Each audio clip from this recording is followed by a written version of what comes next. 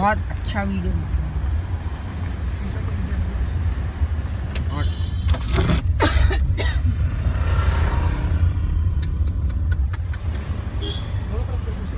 हाँ। हाँ